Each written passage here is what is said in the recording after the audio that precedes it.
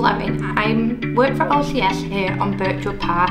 Hi, my name is Tom. I work uh, for the OCS uh, as a part of the Birchwood Park team. We maintain the facilities here on site. Since coronavirus um, come into place in March, lots has changed here. It was our duty of care to look at different products what we thought was going to benefit everybody here at Birchwood Park to keep it a safe environment and obviously we've been looking for a solution. We've been looking for something that it could kill the bacterial viruses very quick.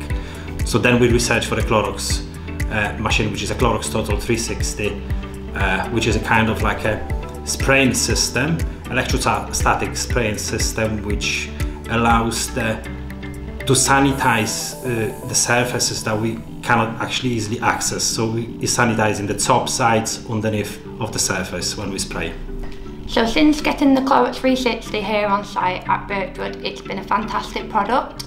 We've um, scheduled staff to go in certain places on a day-to-day -day basis. So for example, on a Monday they would do say Chadwick House, um, Tuesday they would go and do the live and well. We're making sure everywhere is getting hit to make sure our occupiers are kept in a safe environment here on Birchwood. The chemical we use with it, it kills 99.9% of the bacteria within about 5 seconds and kills the cold and flu viruses, MRSA and the norovirus in about 2 minutes or less, I would say.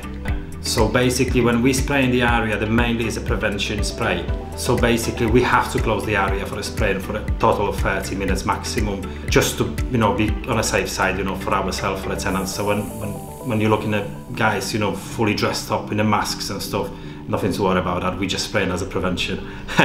we've had amazing feedback from the occupiers when we've um, sprayed the office. They're feeling in a much better and safer environment, which is good, which is what we want.